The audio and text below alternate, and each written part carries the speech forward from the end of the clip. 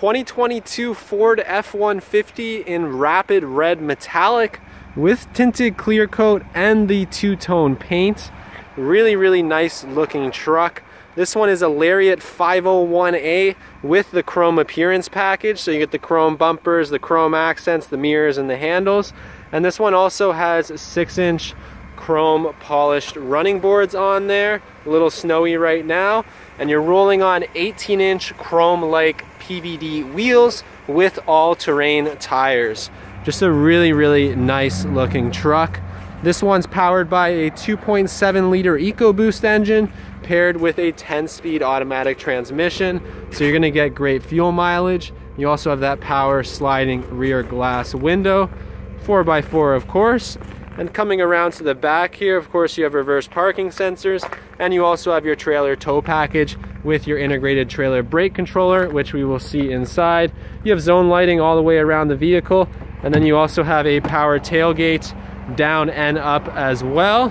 Of course, you have that integrated trailer tailgate, or sorry, tailgate step in the back here. And then you also have your LED bed lighting, of course.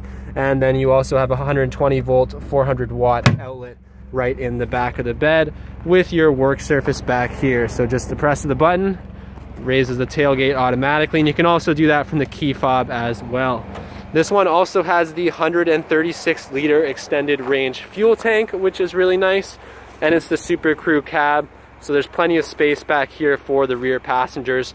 Really, really nice black leather interior with the really nice stitching on there.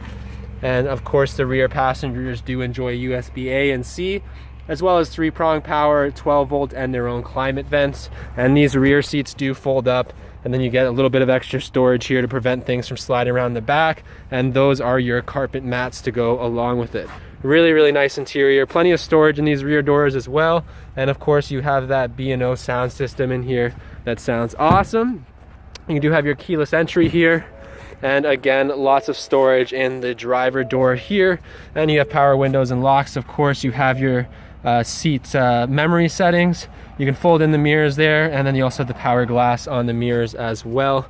Really, really nice interior on this truck, really comfortable seats. And stepping inside the truck, we do have automatic headlights on here. You can drop the uh, tailgate from up here. You also have power adjustable pedals right here, which is really nice and you can turn on the mirror lights or the bed light from here as well. And stepping into the truck, you have this beautiful digital display right behind the steering wheel for your speedometer and RPM meter. And you can also customize to show different settings on the truck as well.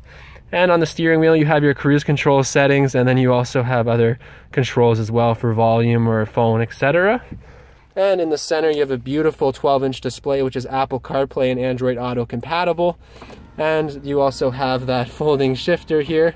And I'll just pop it in reverse and you can see that this one does have the 360 camera as well as those uh, that rear camera also, which is really nice. Then you have your media controls coming down here. You have heated and cooled seats, which is really nice. Dual climate zones, and then you have your own power up here, a 12 volt and a three prong. And then you also have your integrated trailer brake controller there, as well as your different four-wheel drive settings. And you can lock the differential from here, as well as change your drive modes also. And then you have your trailer backup assist up top there. Really, really nice. And under this cover here, you do have USB A and C, as well as a little pocket storage. You have that folding shifter and a spot for your phone, as well as a couple cup holders. And a really nice big center console with some cup holders behind. And in that center console, you have plenty of storage as well as a USB A and C down there as well. And then you also have more storage over here above the glove box and also in the glove box itself. So just a really, really nicely equipped, really comfortable and powerful truck.